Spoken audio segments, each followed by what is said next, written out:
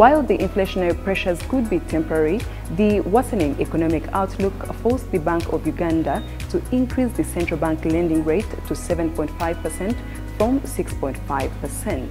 Now, also the commodity prices continue to soar, and even though the State of the Nation address happened this week, there weren't ready answers for the continued economic shocks. We all now wait to see the distributions in the 2022-23 national budget that is going to be read out next week. Welcome to the Business Show. Here now are some of the stories that made the Business Week. Central bank rate increased to curb inflation. Six counters record activity at the Uganda Securities Exchange. Hoima International Airport to be completed. And Turkish inflation hits highest rate since 1998 at 73.5%. Welcome to the show. Now, for many business-minded people, investing in sectors that could easily recoup profit for you in Uganda is ideally the dream. But did you ever imagine that you could actually attain your wealth from the real estate sector? This week on Views from the Top, we speak to seasoned real estate developer Clive Kifford, who is CEO Jacana Heights, and he says that with proper planning, research and well thought through investment decisions, one can reap from the real estate sector despite the challenges.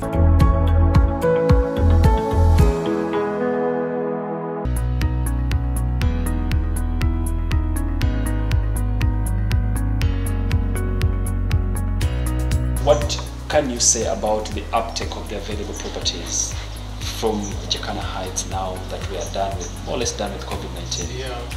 From our point of view, the, market is really picking up, but I don't know if that's a reflection of the global market. It's more that after the end of COVID, we put a lot of um, money into marketing. We started the, the whole marketing campaign again. Because uh, during COVID, it was very difficult to show the properties around. So um, our experience is that we've had a great deal of interest and sales have really, really picked up. Interest has really picked up. The prime reason is you're buying something which has real intrinsic value, uh, which is why it's called real estate, I guess. It's got real value. It's always something that people want. So long term, the value is always going to increase. Uh, now, with alternative investments, um, you, if you hold your money in cash, that's, that's going to lose value over time. Um, if you put it in commodities, in stocks and shares, in other investments, you need someone professional to manage that because otherwise you could pick something which loses value uh, and there's a lot more fluctuation. But with property, um, okay, it can fluctuate uh, in the short term, but long term the value always goes up. So it's, it's a safe investment, and of course you can make a lot of money out of it as well if you're very careful and you know what you're doing. So you need to make sure you have a good lawyer. Um, you need to do your numbers very carefully. So you need to take everything into account uh, when you're working out your outgoings and projected income. Uh, so that's very important. And you need to do your research very carefully. You need to make sure you're buying property, if you're buying for investment, one which is going to rent out, uh, which is not going to be unoccupied um, and provides a good return on the capital that you've paid for it.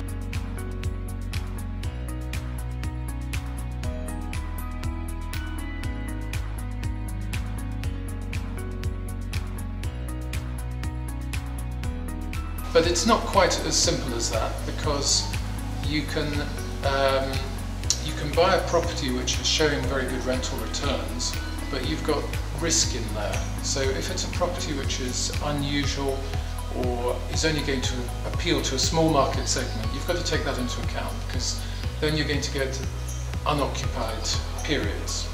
And if you if half the time the properties are unoccupied, you're not getting 10%, you'll end up getting 5%. So that's the kind of thing you have to take into account.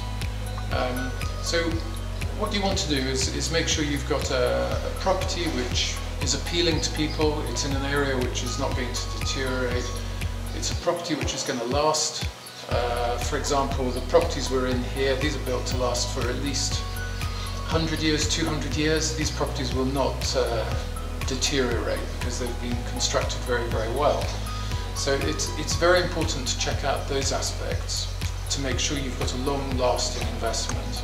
Well, when we planned and started constructing Jacana Heights, we made sure that everything was done completely by the book.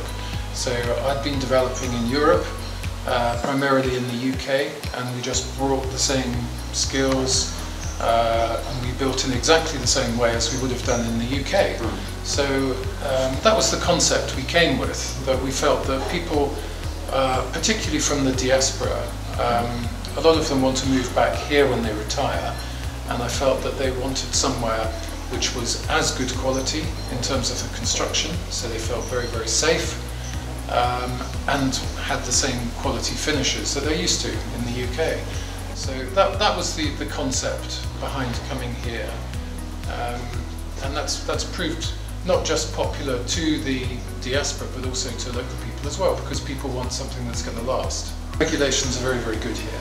I think the problem is that it's possible to get around them, and not just in Uganda, in most countries in the world, in fact. Uh, that's the difficulty. So the uh, the way that the planning permission, the, um, the rules and regulations, the oversight is set up is good, um, and it is it is critical to ensuring good quality. But I think the problem is the implementation. It needs to be implemented more effectively.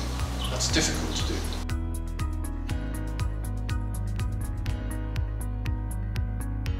Here, look at the rental returns. And we've, we've talked a lot about rental returns uh, and the importance of those, but the, the other side of investing is looking at the capital appreciation, uh, which is equally important. So if you're looking at buying a property over a 10-year period, then sure you look at your projections for rental returns, um, but you also want to look at what the property is going to be worth when you sell it. So if you're if you're smart and you pick a uh, an up and coming area to invest in, then you're going to you're going to double the money that you would make because if you, if you're going to get very good rental returns, if you can get up to 10% as we we do here at Jacana Heights, and you're also going to sell the property worth three times as much, then over a 10-year period, the annual returns you're making are much, much higher. They're Very, very good. So um, picking an up-and-coming area, if you can find out, if you can predict which ones are going to go up, that's a really smart thing to do. Key thing is, can, as I said before, you've got to look at the numbers, you've got to look at the legals. As long as you've done that properly, uh, you can buy a safe investment and you can be um, pretty assured that you're not going to lose money, um, you're going to get returns. But if you if you really want to make um, good profits, then you've got to be a little bit uh, smarter than that. Not necessarily take risks, but just do a lot more research. Um, so look at the price very carefully, look at the income that you're predicted very carefully, um, but most important, look at the location that you're buying. Because uh, in Uganda you have a big increasing population in the country and, and in Kampala that puts demand on housing. So there's a huge housing demand here, uh, which makes it a great place to develop ability. So um, the properties we're in now, they're luxury properties. Um, Jacana Heights is not something which is going to be affordable to a large um, percentage of the population. We knew that when we built it, but it was just the location was perfect. It had to be a, a beautiful property. The biggest part of the housing demand is, is a much uh, lower cost property. And uh, those are sure, those are, those are things we're looking at building and there are things that other developers are building and selling very, very quickly and very successfully. But the other key factor is access to the credit market. Now that's very difficult in Uganda. Almost everything in, in the UK at least is bought on loans from the bank, mortgages. Mm. Now, uh, the number of properties bought on mortgages in Uganda is a very low percentage. Um, so that means people have to find the money.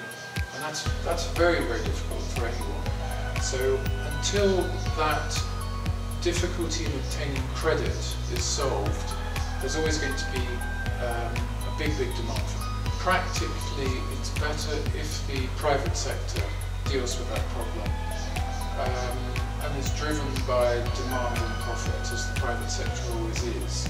I think things always become complicated when you get government involved. Theoretically, it's a good idea, um, but the, the amount of bureaucracy and delays, I, I feel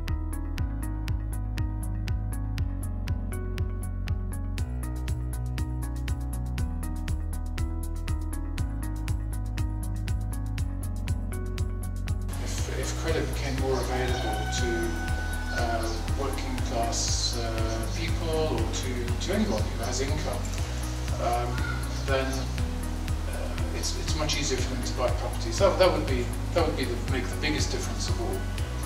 What does the future for Jacana Heights look like and the real estate in general? The future for Jacana Heights looks very good. Uh, we're selling these properties quickly and we're moving on to the next phase.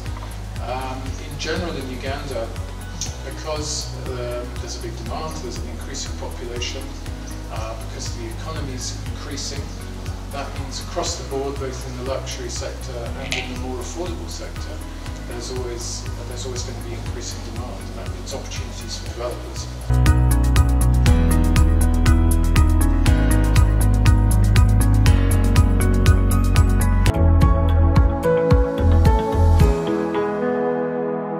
And there you have it.